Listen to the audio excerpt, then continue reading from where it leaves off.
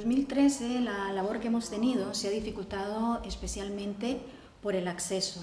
ya que eh, a pesar de que un auto de los jueces eh, nos concedía la entrada como una, como una ONG,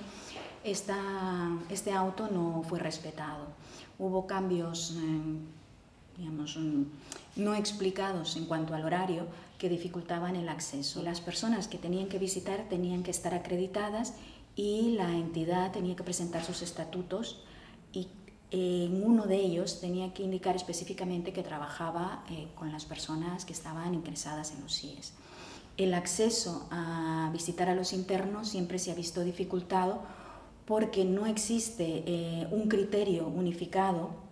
de las personas que eh, ejercen la custodia, los agentes de policía que nos reciben a la entrada y es muy variable. Eh, puede suceder de que un día vayamos a la visita y nos encontremos con un cartel que ese día las visitas están suspendidas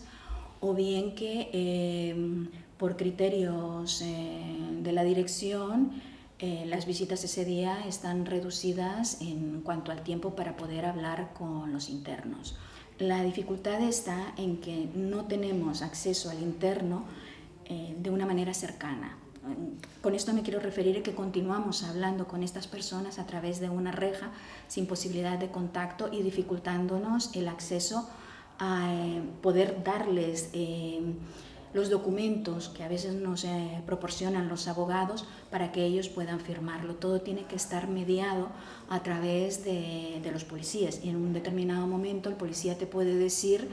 de que esa documentación, que a veces es urgentísima que la firmen ese mismo día, la dejemos y que vayamos a buscar otro día o que esto, bueno, ya lo consultarán con la dirección. Mayoritariamente lo que nos encontramos es que en realidad no son personas, o sea, que tengan antecedentes eh, penales eh, graves en su mayoría, sino que son personas que están mayoritariamente por el hecho de no tener un permiso de residencia. Nos hemos encontrado con situaciones de padres de familia, también nos hemos encontrado con personas enfermas, o sea, físicas y mentales. Nos hemos encontrado también con personas eh,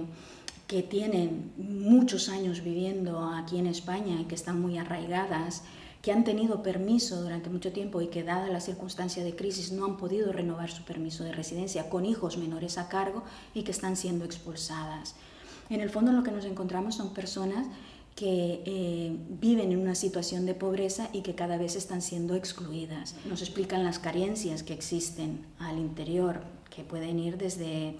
eh, falta de ropa,